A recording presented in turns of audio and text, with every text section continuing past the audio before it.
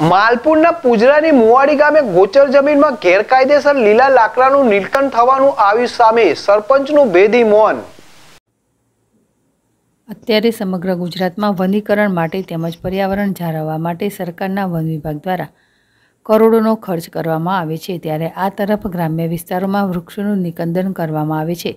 ને તંત્રની અમી દ્રષ્ટિથી પર્યાવરણને નુકસાન પહોંચાડવામાં આવે છે. વાત છે માલપુર તાલુકાના પુજારાની મુવાડી ગામની આ ગામમાં વર્ષોથી ગૌચરની જમીનમાં વૃક્ષોનું વાવેતર કરેલ છે. પશુઓને ગૌચરમાં શીતળ રાહત રહે એ માટે ગૌચરમાં વૃક્ષો વાવી જતન કરવામાં આવે છે.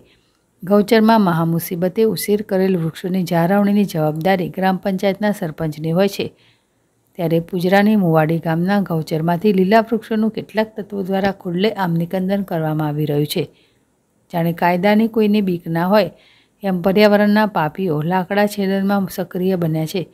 સમગ્ર બાબતે ગ્રામના સરપંચને વાકેફ કરવાના પ્રયત્નો કર્યો તો આવું છું કહીને ફોન સ્વિચ ઓફ કરી દીધા અને ફરીથી ફલિત થાય છે કે ગૌચરમાંથી સરપંચની મિલીભગત છે, જે વૃક્ષો નિકંદન થાય છે ત્યારે આવા તત્વો સામે કાયદેસર દંડનીય કાર્યવાહી કરવાની સૌ ગ્રામજનો માંગ કરી રહ્યા છે.